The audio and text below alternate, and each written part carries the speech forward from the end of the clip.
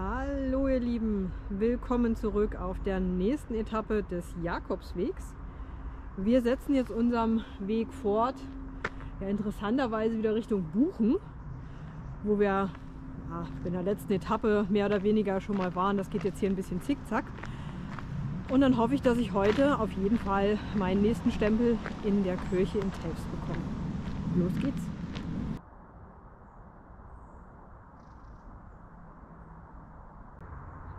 Kurzen Anstieg geht es jetzt hier runter. Wieder ohne Schild, wo wir eigentlich lang gehen müssen. Aber dadurch, dass ich weiß, dass wir durch Brand müssen und nicht hier hoch nach Buchen, wo wir, wie schon gesagt, hergekommen sind, gehen wir mal hier runter. Eine schöne kleine Bank mit Blick ins Tal. Aber auch wenn das hier so schön durch den Wald idyllisch geht, also die Autobahn und die Straße, das hört man schon richtig, richtig laut hier oben.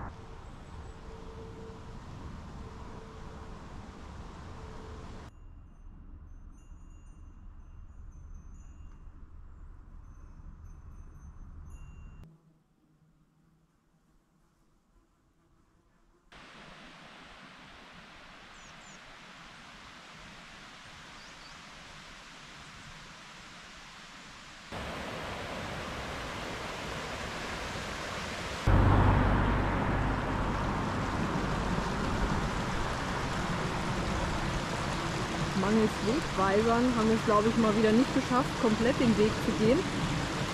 Wenn ich das auf der Karte richtig verstanden habe, hätten wir da oben irgendwie noch durch den Wald gehen müssen. Aber bevor ich mich dann nochmal verlaufe, gehe ich mal die idyllische Straße weiter. Klein und unscheinbar.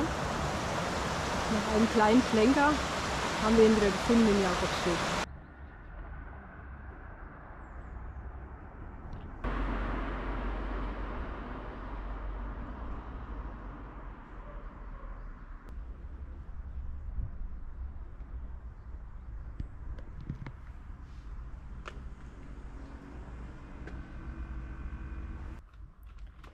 Also wenn Automat befüllt wäre, oder vielleicht ist er auch befüllt, kann man hier Grabkerzen im Automat ziehen.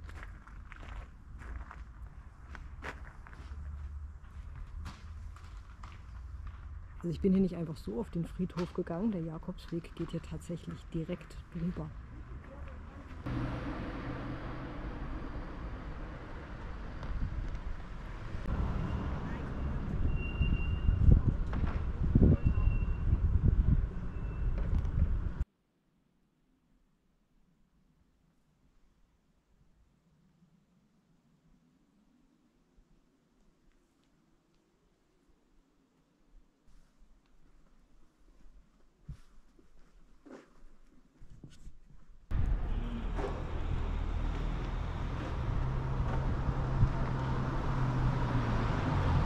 Das ist die Innenstadt von Telfs am Samstag.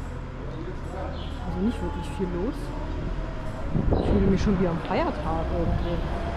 Warum sind die Geschäfte eigentlich schon so wirklich zu? Hm. Also die Touristikinformation hat tatsächlich nur am Wochentag offen. Das heißt, wenn ihr am Wochenende hier Samstag oder sowas seid, ist es leider zu.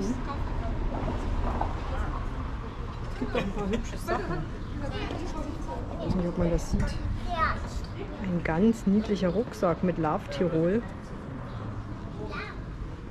Schau, da ist die Mama. Hier ist die Mama noch.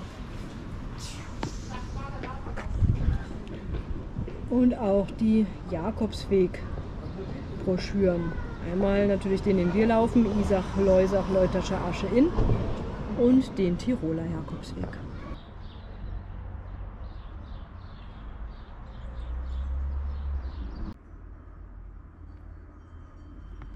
Nachdem wir uns wieder nach der Innenstadt ein bisschen verlaufen haben, in Telfs, hat uns der Jakobsweg jetzt wieder nach Ficht angeblich eineinviertel Stunde. Und wir gehen jetzt mal ein bisschen geradeaus. Dadurch, dass das hier wieder ziemlich berghoch ging, bin ich schon wieder ziemlich groggy. Ich hoffe, hier kommt jetzt bald eine Bank. Ich sag mal, wir haben heute so viele Bänke schon gesehen, aber meistens ist es so, Immer wenn ich Beine brauche, kommt keine.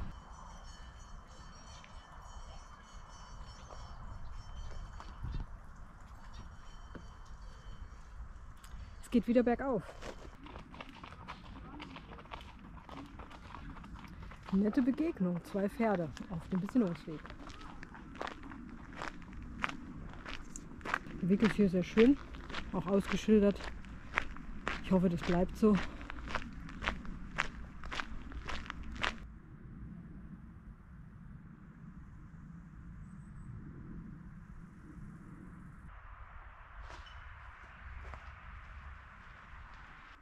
Jesus sagt zu Thomas, ich bin der Weg und die Wahrheit und das Leben.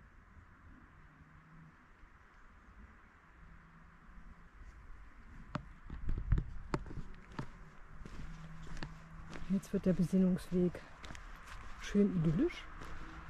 So ein kleiner Trampelpfad. Neben uns ist ein bisschen was Breiteres.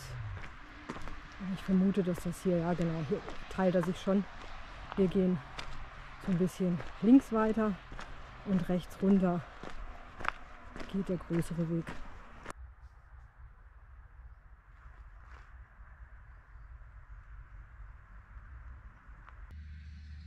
Baustelle auf dem Besinnungsweg. Ich habe die Bauarbeiter hier gefragt, ob ich hier Angst haben muss, dass ich irgendwas auf den Kopf kriege. Und die meinten, nein, sie machen Mittag. Aber hier hinten werkeln irgendwie welche rum. Mal gucken, was die mir sagen. Sieht aus, als ob die hier irgendeine Pipeline ziehen. Also so viel zum Besinnungsweg. Ja. Also es bleibt spannend.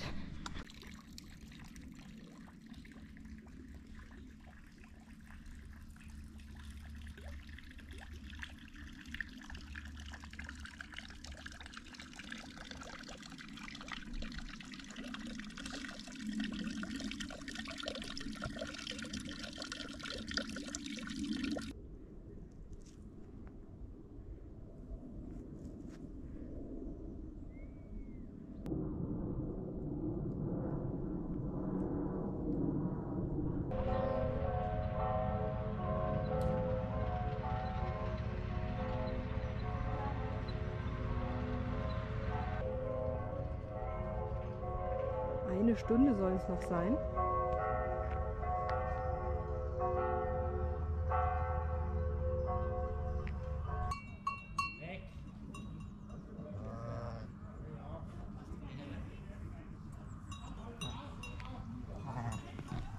Das ist echt so herrlich hier.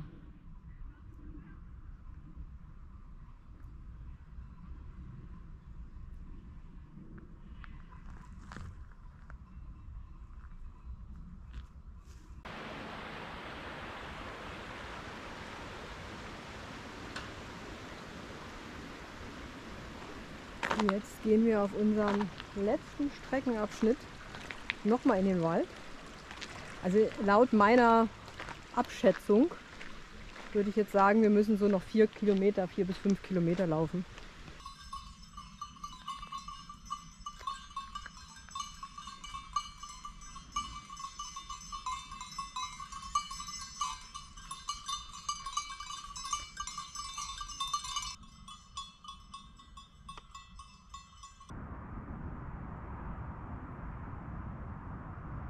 Der Blick führt in die Weite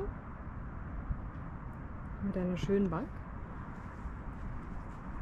Hier vorne geht es ganz steil runter. Sieht man die Bahnschienen, die Autobahn und den Inn. Ich weiß nicht, ob man das sehen kann hier im Wald. Das ist ein riesiges Windspiel. Wir sind jetzt an dieser Station 2 von dem Besinnungsweg. Schöpfergeist, Sturm, Wind und Säulen soll das hier darstellen. Die Bibelstelle, die dem zugrunde liegt, ist, der Geist weht, wo er will, und du hörst sein Sausen, aber du weißt nicht, woher er kommt und wohin er geht. So verhält es sich mit jedem, der aus dem Geist geboren ist. Auf den letzten Metern begleiten uns hier noch so schöne Bilder.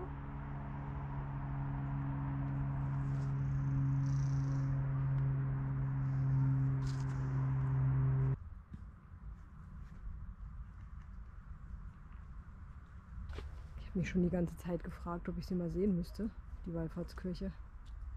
Da ist sie.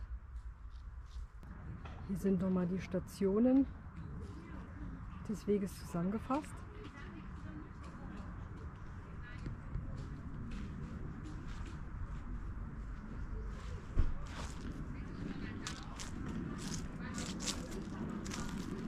Wir sind jetzt an unserer letzten Station angekommen. Das Labyrinth. Wenn wir aus dem Geist leben, dann wollen wir dem Geist auch folgen.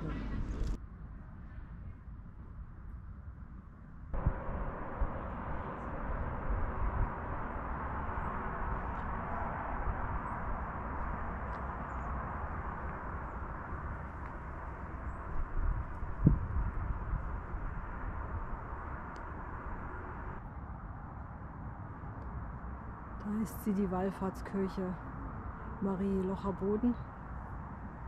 Das offizielle Ende vom Jakobsweg. Isar, Leusach, Leuterscher, Ache Inn. Auf meinem letzten Stück war ich jetzt 19 Kilometer unterwegs. Ja, irgendwie froh, dass ich angekommen bin und traurig zugleich, dass der Weg zu Ende ist.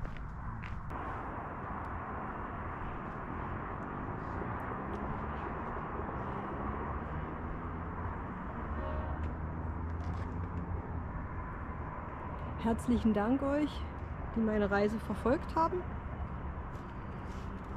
Und ja, mal schauen, wie es weitergeht.